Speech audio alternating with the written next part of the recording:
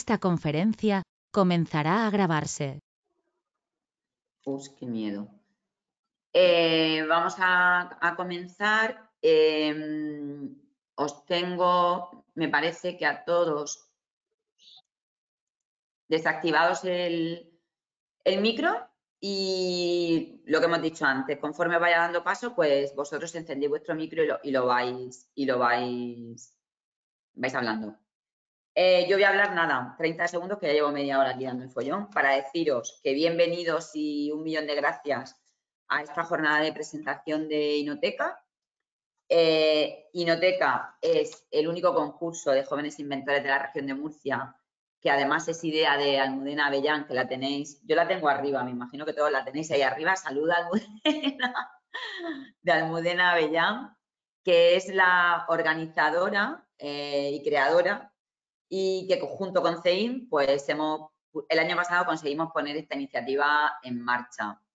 Eh, lo único comentaros que es lo que intentamos y lo que buscamos son ideas eh, técnicas que sean capaces, susceptibles de crear una patente. Incluso así, que parece que lo he explicado bien, suena raro, pero como yo no soy experta, lo que vamos a hacer hoy es con Almudena, que es la CEO de Ipitec, que es la empresa de registro de patentes y, marcas, patrocinadora de este concurso y experta. Con Lidia García, que es la profesora que ganó el concurso junto con sus chicos que están por aquí de la primera edición. Los alumnos de Lidia, que son los que han desarrollado eh, esta patente. Y luego con Almudena Martínez, que es la técnico de la Asociación de Jóvenes Empresarios, que em, para ir un poco más allá de no solamente quedarnos en, eso de crear un invento, la asociación colabora activamente en este proyecto eh, haciendo posible, en caso de que los alumnos quieran, convertir ese invento en una idea, en un proyecto empresarial. Almudena le acompaña Ana Silla, que es una asociada junior de esa Asociación de Jóvenes Empresarios. Y como una de las cosas que creo que no sabemos en esta región es quién nos ayuda a emprender, vamos a darnos cuenta cómo Almudena desde su asociación y Ana Silla como experiencia personal tenemos recursos para que vosotros, sobre todo vuestros alumnos y los alumnos que estén conectados, cuando tengan una idea emprendedora, sepan dónde ir y por dónde empezar. Dicho esto, empezamos con Almudena Avellán, que como os he dicho es la CEO de IPITEC, que nos va a contar eh, qué es una patente y cómo participar en este concurso. Cuando quieras. Muchísimas gracias, Pensanta, por todo lo que has dicho. La verdad es que fantástico, no puedo decir nada más. Bueno, eh, yo soy Almudena y, y, ya estamos en la segunda edición de Jóvenes Inventores de la región de Murcia. ¿Qué es inventar? Que puede sonar súper raro. Como ha dicho Santa, es desarrollar una idea técnicamente. Pero más que contaros todo el rollo de qué es eso, os voy a poner ejemplos prácticos. Por ejemplo, ¿vosotros sabéis lo que es esto? Seguramente la mayoría de vosotros sí que lo sabéis, ¿vale? Esto fue un invento. Pero pasar de esto, que fue un invento, a esto es inventar. Esto es un filtro del café, lo inventó Melita, una mujer inventora, hizo de esto su negocio, su empresa, y en 2017 contaba con 1.500 millones de euros de beneficios. Y lo sucedió, lo ha sucedido la cápsula de café. Eso es inventar, pasar de una cosa a otra. Más cosas que son inventos. Esto es un cepillo de dientes manual para lavarse los dientes. Y si pasamos a esto, que es un cepillo electrónico, eso es inventar. Pasar de una cosa a otra cosa que es mejor, que nos va a ayudar a mejorar la técnica. Vamos a ver más inventos. Esto es un libro, ¿vale? Y si yo os digo que ahora es esto, el libro electrónico, eso es inventar. Alguien en un momento determinado pensó que podía inventar el libro electrónico. Además, la inventora del libro electrónico es española, es una profesora española. Más inventos españoles. La fregona. Si os digo que la fregona es un invento español, que su inventor ganó una millonada de euros y lo exportó a 30 países, es verdad. Es decir, los inventos son creaciones del ingenio de una persona que decide en un momento determinado mejorar un producto o un, vamos, básicamente un producto o un procedimiento. Yo os digo a vosotros, ¿os atrevéis a inventar? ¿Os atrevéis a hacer algo diferente? Bueno, pues si os atrevéis, presentar vuestro invento al concurso de jóvenes inventores de la región de Murcia. ¿Cómo? Con el modelo Invento. Es un modelo que os hemos facilitado para que tengáis todos los recursos y nos lo mandéis eh, a través de la página web del CEN, con todos los detalles de vuestro producto y de vuestro proyecto. Y ahí tenéis que destacar vuestras partes técnicas. Por mi parte, poquito más os voy a decir. Si queréis luego hacer alguna pregunta, pues encantada. Ya voy a dar paso a los verdaderos inventores y ganadores del año pasado, Lidia y sus alumnos. Gracias, Almudena.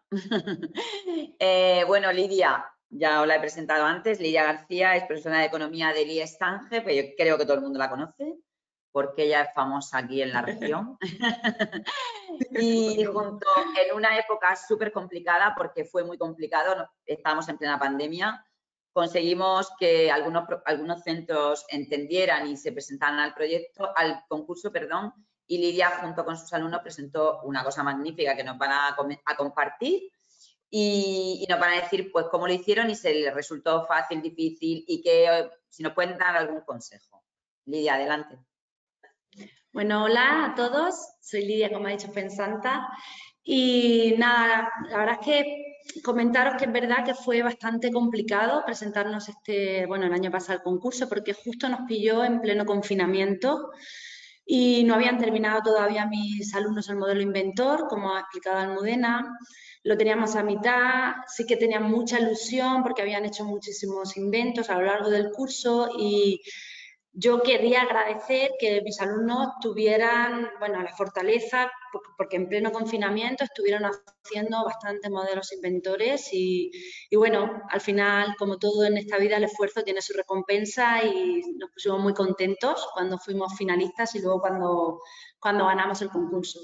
La verdad es que mm, yo estoy muy ilusionada con este tipo de proyectos que, realizáis porque creo que es necesario fomentar el pensamiento crítico, el pensamiento creativo de los, de los alumnos y por ende el, emprendimiento. Eh, estamos pasando de una era industrial a una era analógica, a una era del conocimiento en el que considero que lo, es muy importante la actitud emprendedora, el hacer pensar a los alumnos, el estimular su creatividad, el potenciar su, autoestima y este proyecto, este, este, bueno, este concurso creo que, que lo fomenta y muy bien. La verdad es que, bueno, yo en la asignatura de Fundamentos de Administración y Gestión es donde realizo pues, el potenciar todo esto.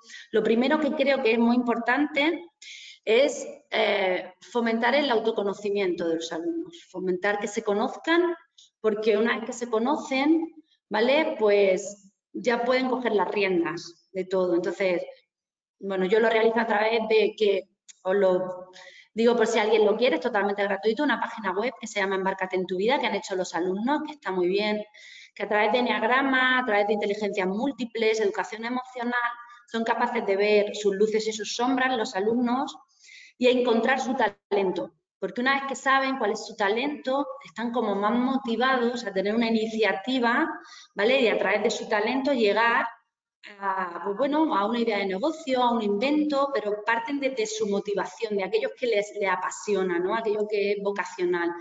Y por eso el primer bloque que siempre hago es el autoconocimiento, a través de, ya lo, he comentado antes, embarcate en tu vida.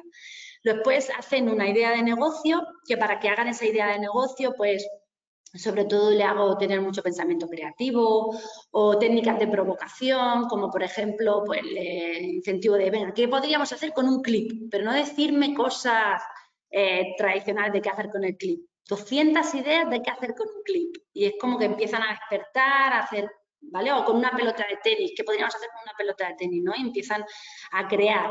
Lo importante es que los alumnos empiecen a pensar cosas diferentes, como digo yo, lo más friki es lo mejor, cuando están en una edad que no quieren ser nada diferentes y, lo importante es ser igual que todo el mundo, entonces les despierto ¿no? el decir, no, haz algo diferente, algo que, que despierte, ¿no? Que despierte algo en ti diferente. Y sobre todo también lo que les incentivo mucho para que piensen es una solución a algo que aún no ha encontrado el mercado esa, ¿vale? esa solución. Que busquen problemas que tienen en el día a día y a partir de ahí generen la solución.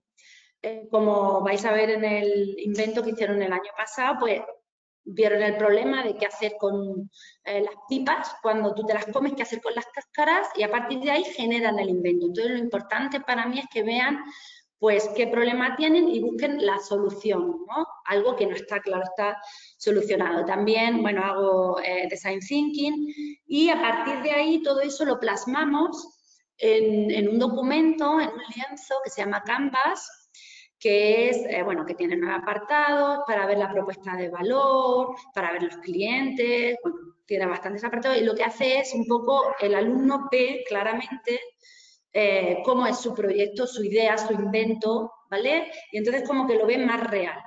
Pero ya para hacerlo más real todavía, luego hacemos el prototipado. El prototipado también para mí es muy importante porque ahí es cuando ven em, a pequeña escala su propio producto. Lo podemos hacer con stop motion, con roleplay, con, con Lego también lo hacemos. la verdad es que me parece, porque ahí genera todavía más creatividad más en los alumnos, porque lo importante es eso, que despierten, que hagan cosas diferentes. Y para finalizar también, creo que es muy importante que sepan comunicar ese tipo de, de invento que han realizado, eh, bueno, lo hacemos a través del elevator pitch y la verdad es que a los alumnos también les da muchas dotes. Entonces, veo que gracias a este concurso podemos realizar, por ejemplo, este tipo de, bueno, el proceso que he ido explicando y los alumnos la verdad es que consiguen mayor autoestima, mayor creatividad y sobre todo creer mucho en sí mismos y ver que es posible, porque el año pasado me decían, pero esto, esto de la patente, esto cómo va, ¿no? Pero de verdad, y entonces cuando ven que de verdad ganan y que tienen una patente en su poder, es como decir, ala, pues esto es posible, ¿no? Y, es muy bonito ver el, crecimiento y el proceso que hacen los alumnos gracias a este tipo de, concursos. Y poco más deciros, mm, si tenéis alguna pregunta, como ha dicho Almudena, me, me preguntáis y si no, pues un poco deciros es el proceso que yo por si mis compañeros que están oyéndome profesores, que seguro que lo hacen igual o mejor, eh, darles alguna idea para que se animen a participar con sus alumnos en este tipo de concursos y, nada, que aquí estoy para lo que necesiten. Muy bien. Muchas gracias, Lidia. Paso a mis alumnos para que os expliquen ellos mejor que yo en qué consiste el invento. Perfecto. Eh, si os parece, si queréis, me vais escribiendo las, alguna pregunta que os surja por si no queréis olvidarla en el chat y si no, al final, pues abrimos un poco un, rato de, preguntas y respuestas. Eh, bueno, como ha dicho Lidia, Lidia la vamos a contratar aquí en CEIN para que se venga a trabajar con nosotros porque realmente lo que ella hace con sus alumnos es lo que nosotros le decimos a nuestros emprendedores. Cuando llega un emprendedor con una idea, lo primero que queremos es que tenga claro cuál es su propuesta de valor o cuál es aquello que le diferencia de su mercado precisamente para ver que resuelve un problema de la sociedad, ¿no? O sea que mm, luego le decimos que es imprescindible tener un producto mínimo viable para testar ese mercado y finalmente si tienes una idea magnífica y un producto magnífico y no lo sabes comunicar, absolutamente nadie te va, a comprar ni, te va a, va a estar a tu lado, ¿no?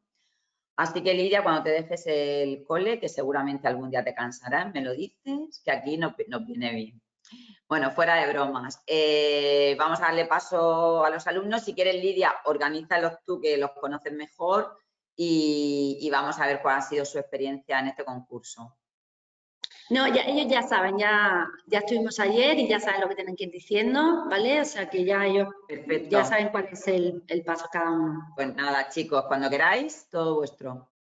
Bueno, yo soy José Marincano y os voy a explicar cómo sacamos el nombre del producto, pero no antes, sin presentaros a, los propietarios de la patente, que sería Alba Loel y Iván Iglesias eh, Álvaro Sánchez, Nuria Martínez y, María Sánchez, y yo, José Marincano. Y Alba López, perdona, que pone Lobel y me, he confundido. Vale, eh, nuestro producto se llama Kirikiri y, y lo encontramos después de, buscarlo eh, en diferentes idiomas la palabra de cáscara. Y el más original nos pareció que fue en himalayo, ya que tenía, el nombre era como melódico, ¿no? Y pegadizo, y también fácil de pronunciar, y nos pareció el más ideal.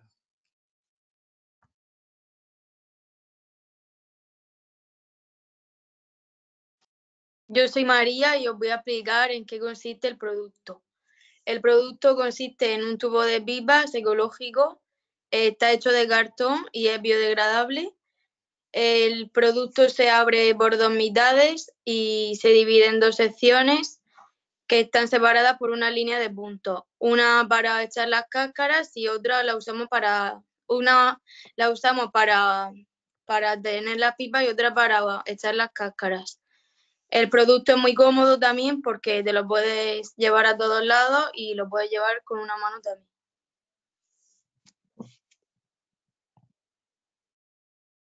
Eh, hola, soy Nuria y vengo a contaros qué soluciones ofrece nuestro producto. Y es que todos los productos han sido creados eh, para solucionar uno o varios problemas. Eh, ¿Qué soluciones ofrece el nuestro? Bueno, pues una de las soluciones que nos aporta es que cuando estamos comiendo pipas tengamos que ir a buscar un recipiente en el que tirar las cáscaras.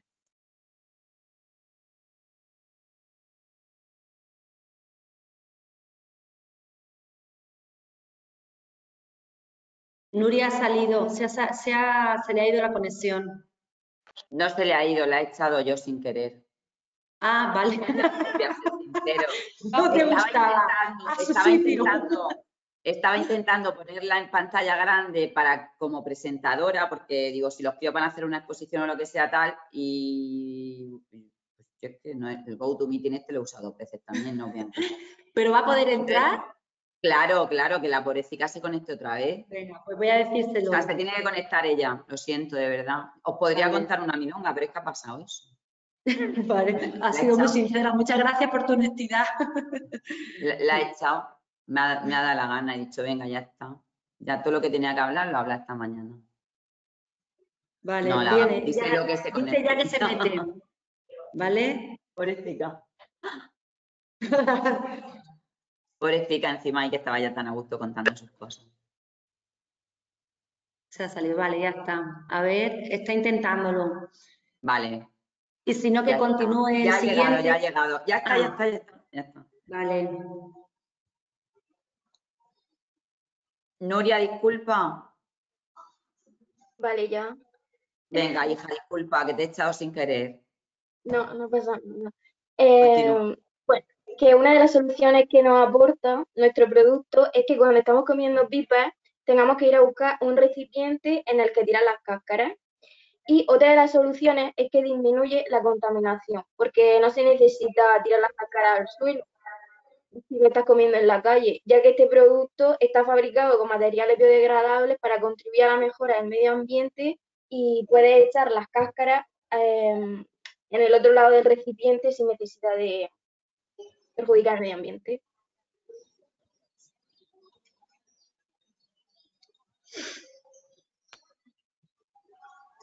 Pues, voy yo, soy Álvaro y en cuanto a ganar el premio, pues hablo en general en que a todos nos hizo mucha ilusión, ya que pues nosotros empezamos el proyecto en clase y, cuando estábamos en trámites de enviarlo y demás ya estábamos en el confinamiento, entonces pues ya era ahí, estaba ya la cosa más complicada.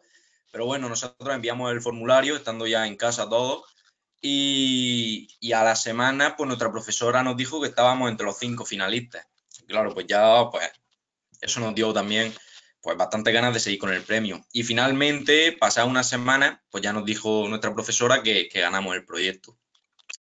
Eh, hasta ahora que, bueno, estamos pues con la intención de, venderla, que con eso voy a ir más adelante, pues yo pienso que en lo personal a todos eh, nos ha venido bien, porque es una experiencia que la verdad que, es bastante interesante de, vivir.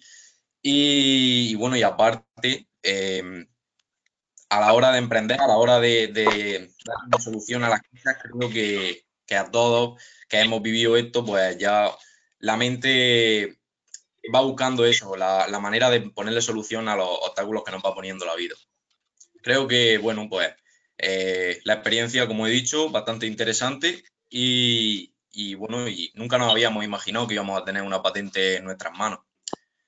Eso es con lo que. Nosotros lo que queremos hacer ahora con la patente, al estar valorada en 1.600 euros, pues estamos intentando ahí realizar una campaña de marketing que sea original, que sea diferente, en formato de vídeo y bueno, que tenga repercusión, que se haga famosa y que, llegue a mucha gente pues, para, para al final conseguir nuestro, nuestro final, que es venderlo.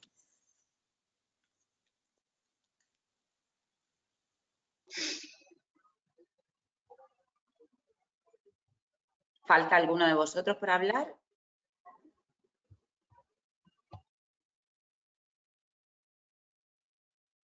Es que está hablando Alba, pero no se le escucha.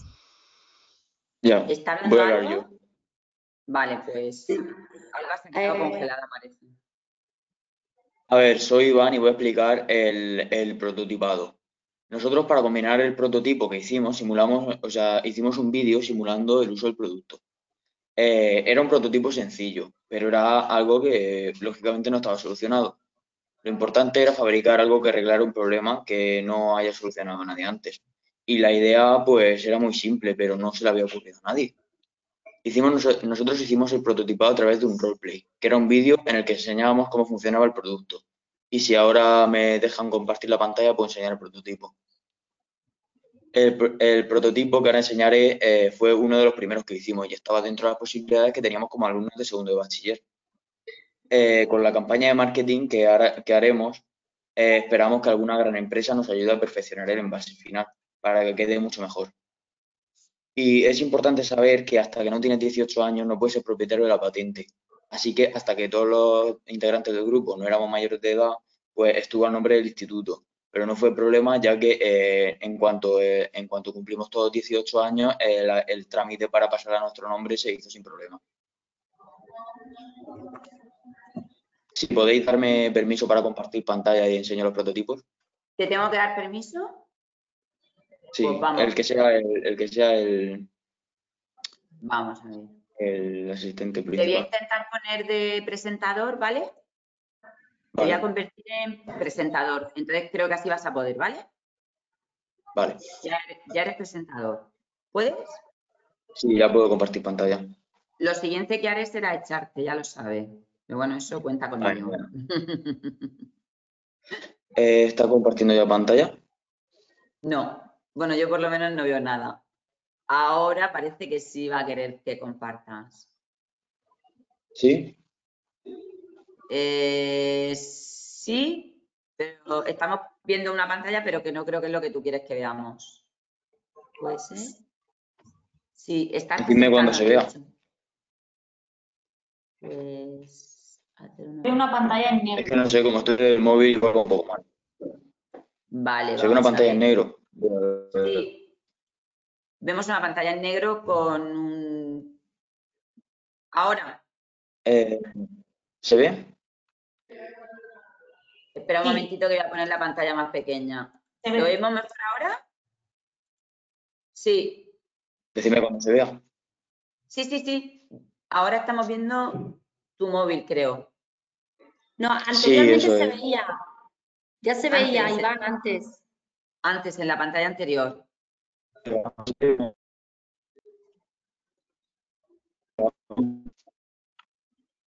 No sé cómo hacerlo, porque el móvil no bueno, pues da igual, sé que esto son las cosas del directo. Faltaría que Alba nos aclarara una cosita, ¿vale? Que falta Alba por hablar. Y más o menos ya lo hemos visto, Iván, hemos visto los dos tipos. Sí, se veía mejor en la pantalla anterior que, que habías compartido, que no sé cómo lo habías hecho. Pero... ¿Se me escuchó? Sí, pues deja de compartir, Iván, que pueda hablar Alba. Vale, es que antes no he podido, no sé por qué se me ha quedado pillado. Em, vale, pues una cosa que tenemos que aclarar es que al ah. principio eh, habló de que el producto fuese solamente para, para pipes. Pero para no limitarnos solo con las pipes, decidimos abrirlo a todo fruto seco que tuviera cáscara. Y después otra vez, otro, o sea, otro punto importante fue eh, la forma del envase. En un principio iba a ser cilíndrica solamente, pero para no limitarnos a la hora de firmar la patente, lo quisimos ampliar y no determinar el tipo de, forma, para que pudiese ser mm, forma piramidal, eh, un tubo o la idea que fuese. Muy bien. Pues no lo, no lo quites de la pantalla, que ahora sí que lo estamos viendo. ¿Has terminado, Alba?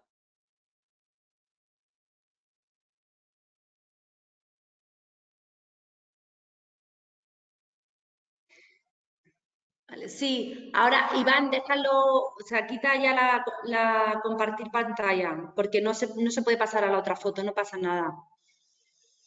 Y bueno, deciros que si tenéis cualquier duda, que si alguien quiere preguntarle a los alumnos, que son los expertos en esto, que pregunten.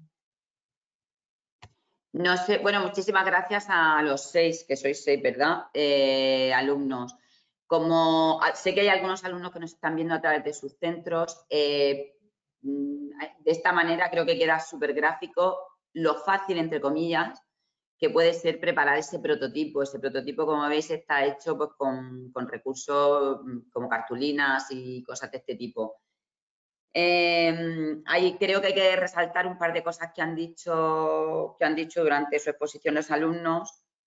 Y es que la idea era muy simple, pero no se le había ocurrido a nadie. A veces pensamos que para crear algo tenemos que hacer, lanzar un cohete a la luna, ¿no? Y tenemos cosas a nuestro alrededor como muy simples, pero que no nos hemos parado a, darle esa vuelta, a tener ese pensamiento crítico.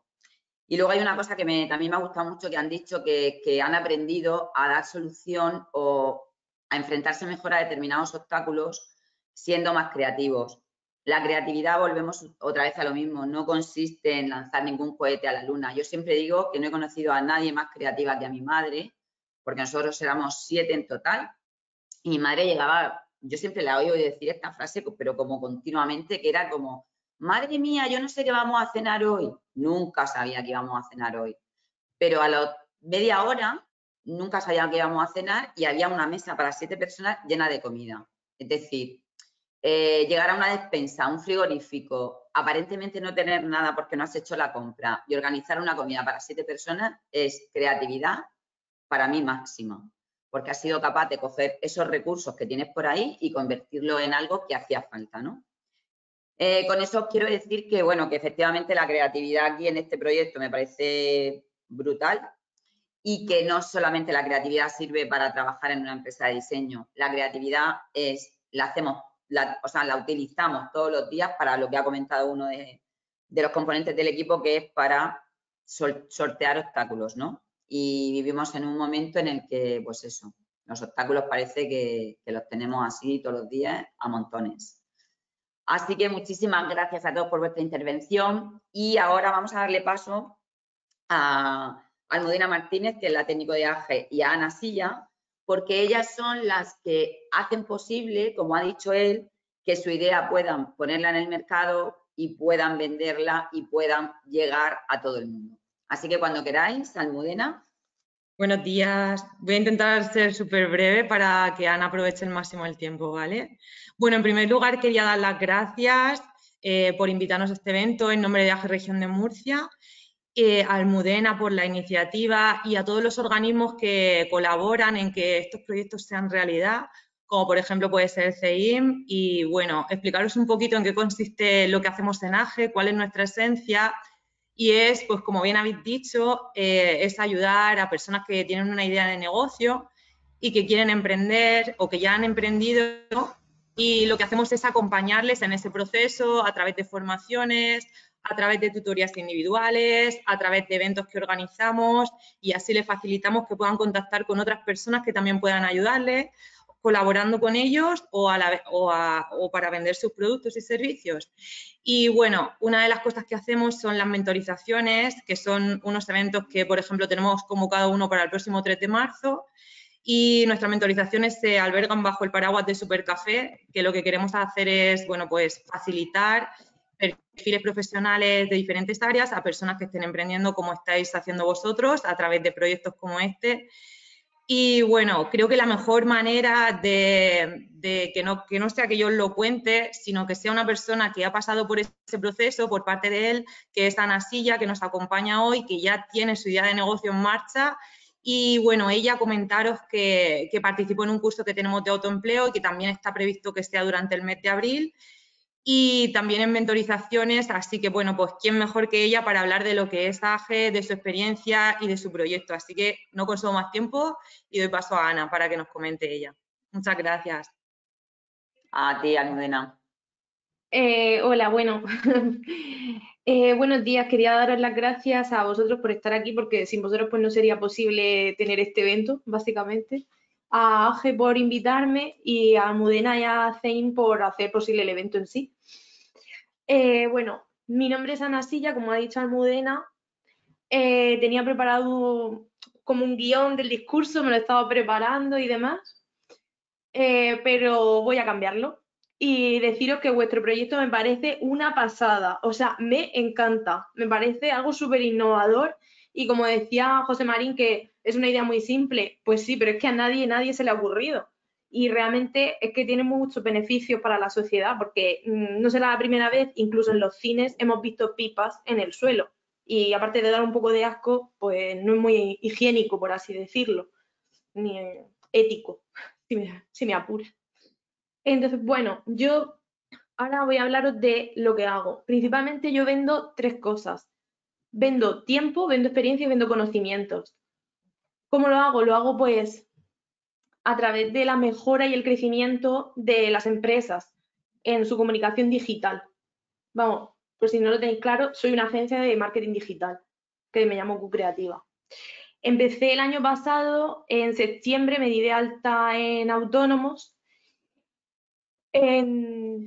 y lo que llevo desde septiembre hasta aquí he conseguido 10 clientes Ahora mismo colaboro con una chica que está también viendo este evento, eh, que se llama De Luca Studio, y eh, que es diseñadora gráfica.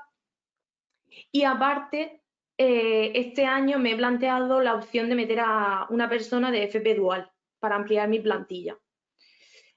bueno, esta FP Dual me lo está gestionando AGE, porque yo mm, cuando empecé, como ha dicho Almudena, empecé en el curso de emprendimiento, tenía claro que quería montarme una agencia y que quería emprender, pero me faltaban las bases. Eh, es que esto, bueno, también depende de cómo seas tú. Yo soy una persona que soy muy organizada y tenía que tener muy claro cómo iba a estructurarme para empezar. Entonces, pues empecé en el curso de emprendimiento de AGE, que lo recomiendo 100% a los que estéis emprendiendo. Incluso tienen también mentorías, que yo he ido unas cuantas, que te solucionan bastantes problemas porque son expertos en el sector de cualquier ámbito, desde agencias de comunicación hasta mm, financieros o, comerciales. O sea, es que hay de todo. Y te ayudan desde distintos puntos de vista porque al final, mm, aunque tú quieras comercializar un producto, pero necesitas saber exactamente a quién, se lo, a quién se lo vas a vender, cómo lo vas a hacer, cómo lo vas a comunicar. Todos esos puntos son muy importantes. Entonces, con las mentorías sí que te sirve pues, para como sentar las bases del negocio. Y luego, aparte, eh, también lo que decía Almudena, que también he asistido unos cuantos y os lo recomiendo también 100% porque cuando empiezas con un negocio es muy, muy importante porque a menos que seas hijo del dueño del pozo, pues normalmente no tienes una cartera de contactos muy amplia o puede ser que conozcas a gente de tu sector o algunos compañeros de la carrera o distinta gente que conozcas, pero en este tipo de cafés, como se hacen, eh, tú conoces, vamos, un montonazo de proyectos, hay algunos que están súper chulos. Yo conocí a, una, a otra diseñadora, conocí a un chico que hacía eventos de moda, de moda ecológica, que está muy bien, joyas también, y al final pues vas conociendo gente y donde tú crees que estás haciendo contacto principalmente para tomarte una cerveza, al final te salen clientes. Entonces, no sé, lo recomiendo bastante, eh, porque el hecho de estar en AGE mm, te supone, entre comillas, eh, optimizar tu tiempo. No tienes que estar, eh, oye, pues tienes un diseñador, oye, pues tal, te vas a un café y igual conoces a cuatro o cinco diseñadores y conoces a, a Almudena Dipitec. y patentas tu marca. Entonces, pues yo creo que, es bastante buena la labor que hacen en AGE. Y nada, hasta aquí mis conclusiones. Pues muchísimas gracias, Ana. Bueno, AGE, como hemos dicho antes, es un recurso de, la región que, a ver, un, eh, hago un inciso. ¿Os importa poner todas las cámaras al que no le importe que hagamos una foto? Que han venido a hacernos una foto y ya concluimos la jornada. ¿Las activáis? Alba, Pablo sé que no puede porque creo que está conectado con sus alumnos. Eh, si alguien más quiere conectar la cámara. Ahora poneros colonia, que vamos a hacer la foto. Bueno, pues ya, ¿preparados? Venga.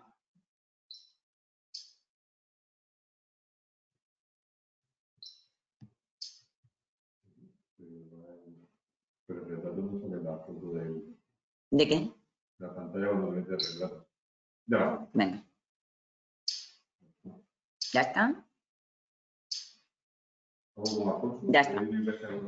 Muchas gracias. Ya nos han hecho la foto de arriba que, bueno, que lo que estábamos comentando, que AGE, como otros organismos, como CEIM eh, de la región, como el Info, eh, tienen estos mecanismos que, ayudan a, a, los emprendedores en sus primeros pasos que son tan complicados. Y como bien decía Ana, pues es súper importante lo de hacer contactos y es súper importante sentirse acogida en esa primera parte y optimizar tu tiempo y tus recursos porque son pocos y muchas veces no saben ni, para dónde tirar. Entonces, bueno, a vuestra disposición tanto el Info, que es colaborador también de este, de este concurso, como CEIM, como CEIC, como AGE, cualquiera de los organismos que de todo no podemos saber. Y cuando uno se inicia a emprender, pues hay un montón de cosas que desconoce. Así que, pues nada, daros a todos las gracias por, vuestra asistencia. Si tenéis cualquier duda ahora que alguien quiera resolver, estamos a tiempo. Si tenéis alguna pregunta,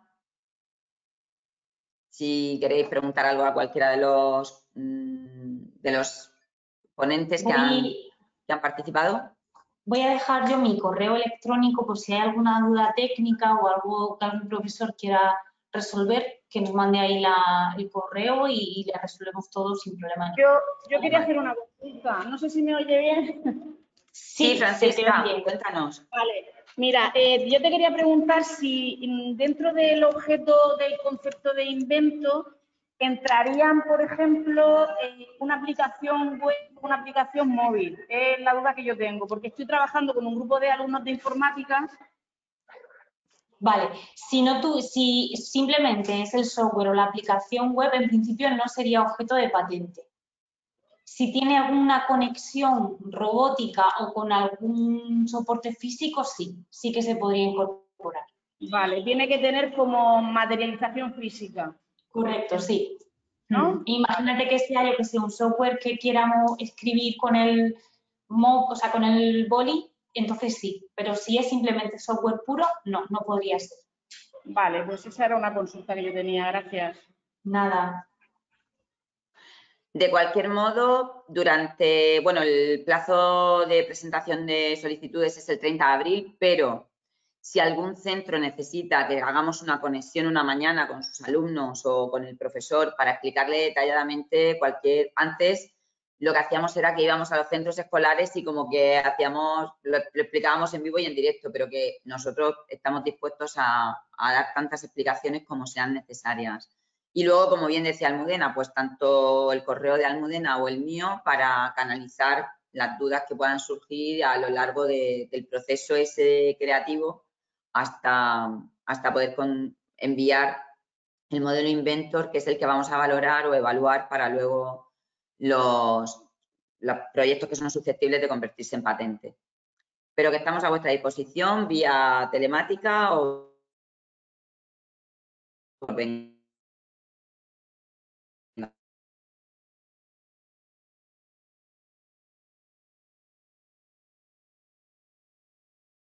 Ahora creo que me escucháis otra vez, ¿no? Eh, ¿Me escucháis? Sí, ahora ya sí. Vale. Bueno, como veréis, soy, si me queréis contratar como experta en GoToMeeting, también creo que podéis hacerlo.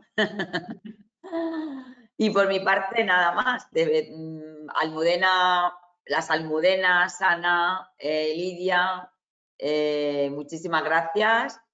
Despediros a todas, y a todos.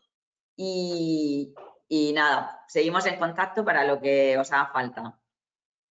Perfecto. Gracias. Mucho ánimo. Adiós. Esperamos los inventos. Adiós, adiós, adiós a todos. Hasta luego. Adiós.